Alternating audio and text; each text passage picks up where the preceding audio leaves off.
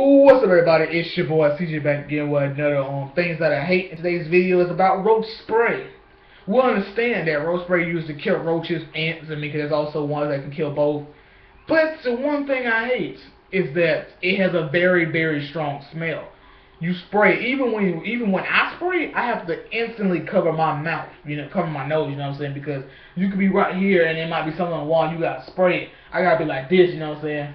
And if it might be on top of the roof or something like that, or the roof, you know, the roof, the ceiling or whatever, and you spray it and it stuff start trickling down, you gotta make sure that you don't look up like, you know what I'm saying, catch, you know, it catch and get in your mouth, you know what I'm saying? You have to cover up and be like, do all that, and even then you gotta try to move out the way, you know what I'm saying? But the one thing about it smell is that once once it's sprayed, it starts lingering, you know what I'm saying? It's different from Lysol.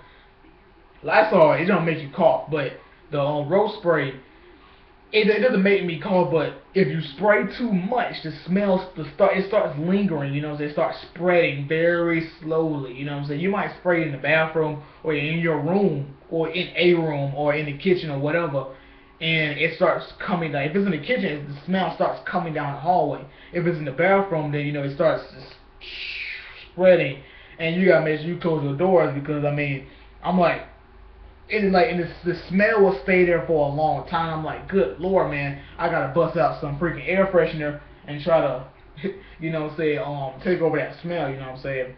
But you know, I mean, it's helpful, but I just don't like that. It, I mean, it's just it has a very very strong smell. If you spray too much, I seriously, if you spray way too much, it'll take it'll take a long time for that smell to go away.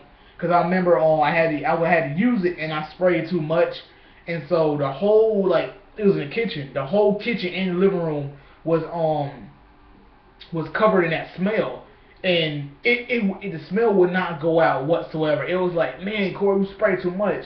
You know what I'm saying? You go to sleep and you can still smell it. You have there's no fresh air. You know what I'm saying? You have to lift the window and let that smell somehow exit out of the house and go outside. You know what I'm saying? That's what I had to do was lift the window and let that um smell go out. But good lord, man, I'm thinking it's just really it's a very very strong smell.